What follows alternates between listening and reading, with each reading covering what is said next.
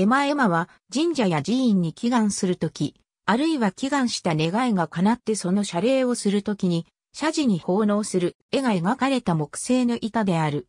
小型の絵馬をかける絵馬がかり個人で奉納するための絵馬として小型で馬などの絵が描かれて余白や裏面に祈願の内容や氏名などを書くものが謝辞で販売されている。大人数で奉納する絵馬は大型で画家に描かせるなどして奉納者が用意することもある。小型のものについては東日本は五角形のものが多いが、これはかつて板の上に屋根をつけていた名残である。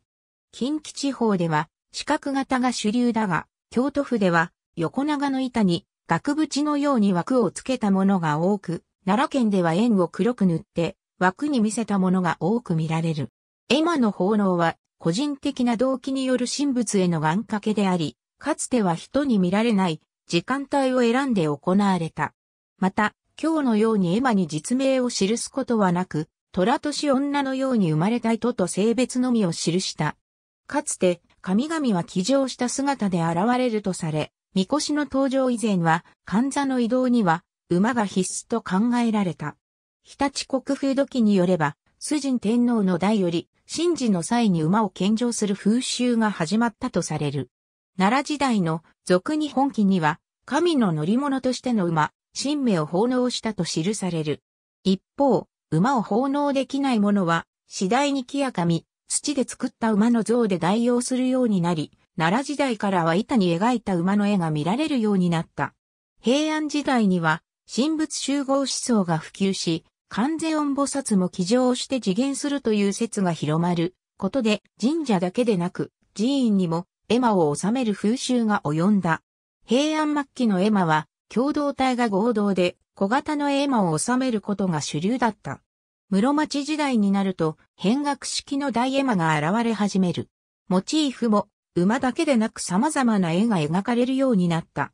初期の例として、例えば狐を使いとする稲荷神社では、狐の絵が描かれることもある。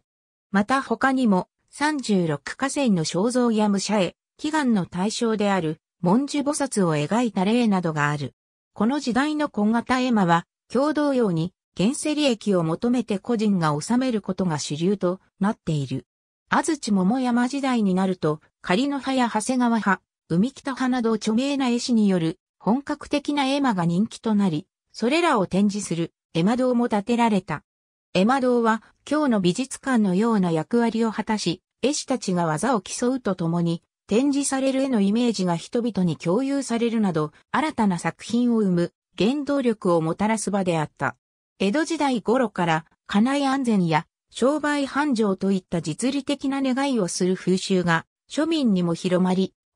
蘇我昌白などの絵師による絵馬、葛飾北斎などの浮世絵師による絵馬のほか、眼病予防に目及び左右逆の目を描いた絵馬や、夫の浮気防止に心の字に鍵をかけた絵を描いた絵馬もある。和裁家は自分が解いた問題の解放を書いた山岳という絵馬を奉納し、日本武術では、剣術、柔術、棒術などで、なぎなたや、木刀や棒を、門人の一覧に付した絵馬を奉納した。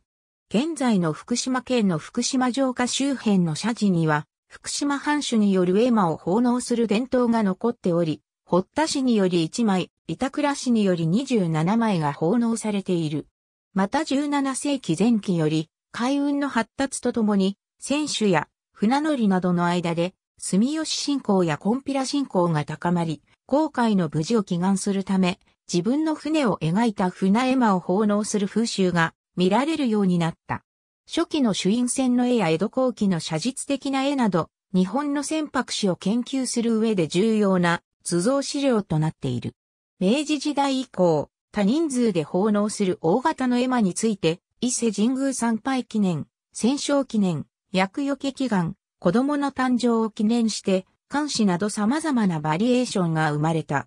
昭和以降は学問の神として菅原道真を祀った天満宮に受験生が合格祈願の絵馬を奉納する風習が盛んになった。白蛇など縁起物の動物や祭りの風景など馬とは関係ない絵馬も多く作られ、社寺の縁起物として、またお守りとしても人気を博している。2000年代中頃から個人情報保護のため、願い事や住所及び氏名の部分にステッカーを貼ることができるようになった絵馬も登場する。正月に巨大絵馬、ジャンボ絵馬、大絵馬と呼ばれる大型の絵馬を飾る神社もある。アニメ、漫画、ゲームソフトの舞台として登場した神社や寺院では、聖地巡礼の一環として作品に登場するキャラクターを描いた板絵馬が多く奉納される傾向がある。町おこしのきっかけになった例もある。またもえ、キャラファンの男性だけではなく、戦国武将など歴史好きの女性にも、板絵馬は広がっている。ありがとうございます。